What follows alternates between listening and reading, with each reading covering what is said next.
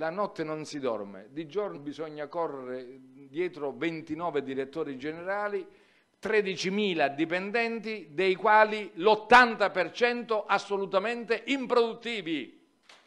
Ma non lo dite ai sindacati, non lo dite ai sindacati.